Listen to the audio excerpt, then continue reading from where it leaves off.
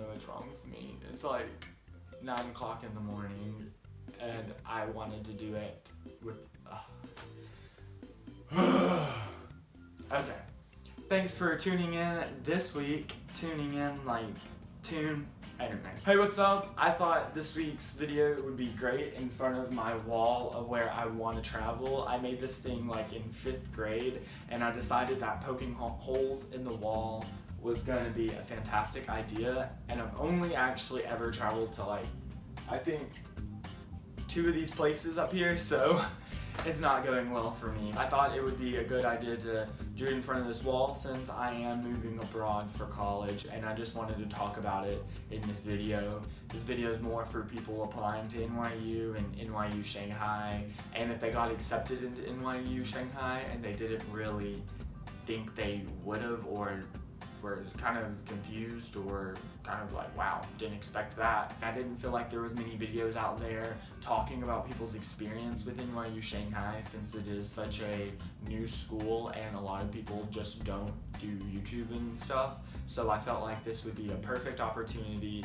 to fill the niche and to get your information. The first half of the video, I'm going to talk about how I applied and how I think I got accepted, and the second half of the video is going to be why I decided to accept their offer. Everyone knows that you go on Common Application and use the Common Essay and to write something for all your schools, and there's lots of tips out there, so I'm not going to focus on that really. I will say that it will help you to find something that you like doing all four, or three years of your high school, like an extracurricular outside of school, even if it is kind of academic related. When you apply to NYU, you have a section where you rank the campuses. There's three campuses. There's one in Shanghai, there's one in New York, and there's one in Abu Dhabi. And all of these are main campuses that you can get a diploma from. And they want you to rank the campuses that you would like to be accepted into, like one, two, and three. And I don't know if I just read it wrong or I was just reading too fast, but you don't have to put all three campuses down if you don't want to apply to all three. I thought you had to, so I did it. And maybe I'm wrong, correct me if I am, but I, you don't have to apply to all three. You can only apply to one if you really want to just go to the New York campus. A lot of people ask about people's ACT and SAT since some people have low ACTs and some people have high ACTs that get accepted. I would just say that if you're worried about that, Google the minimum, not the minimum, but like the middle range of people that get accepted into a certain university what their ACT and SAT is. I will say my ACT is in the middle.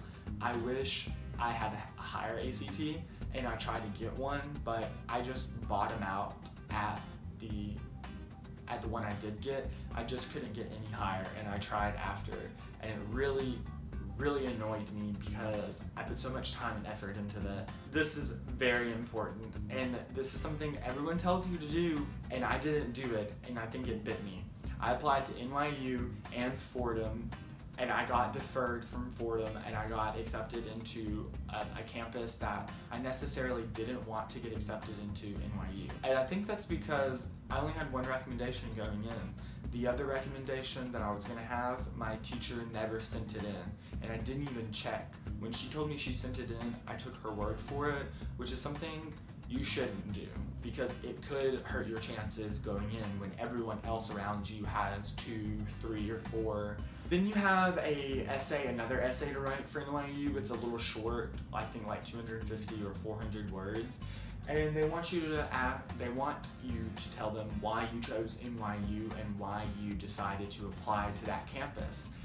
And I wrote mine all about the New York campus, about that diversity, about the opportunities, and about just the different aspect that I'm gonna get coming from the south and going to the north. So I think that's also another reason why I got accepted into the Shanghai campus was because I kept talking about diversity. I kept talking about um, opportunities that I wouldn't get anywhere else, and I kept talking about finance and the financial hub, and Shanghai has a lot of financial businesses there. I decided to accept it because like I said before, it's completely opposite. I always wanted an opposite American education experience But then I knew going to New York University, or pretty much any university now, you can always have an abroad year.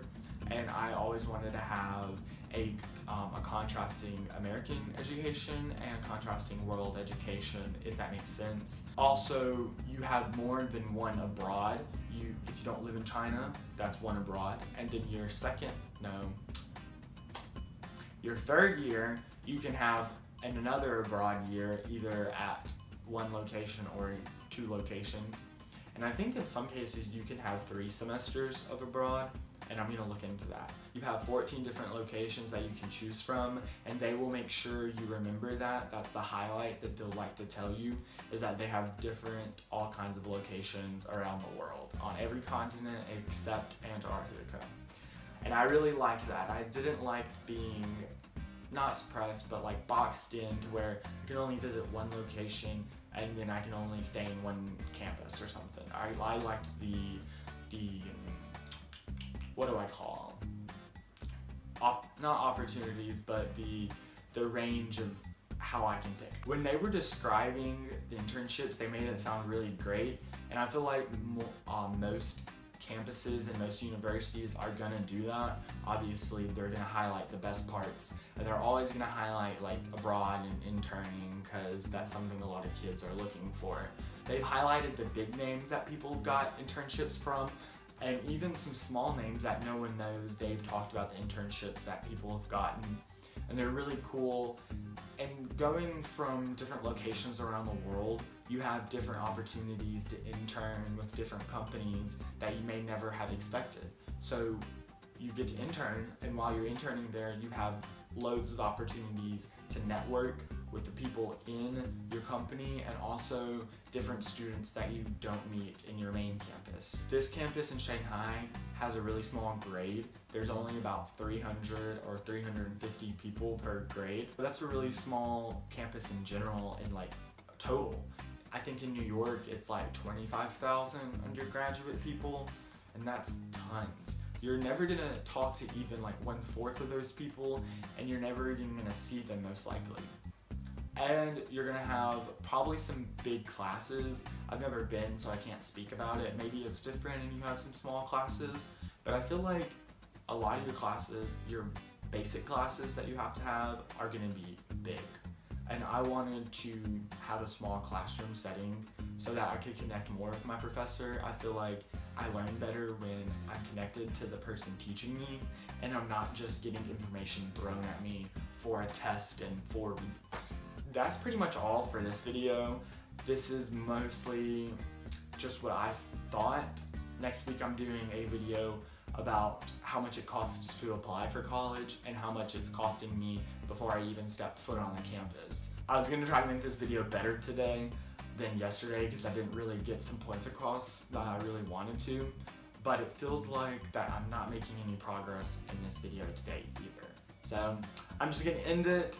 If you wanna see video next week, part two, then go ahead and check it out. If you don't, then whatever. like always, have a great day.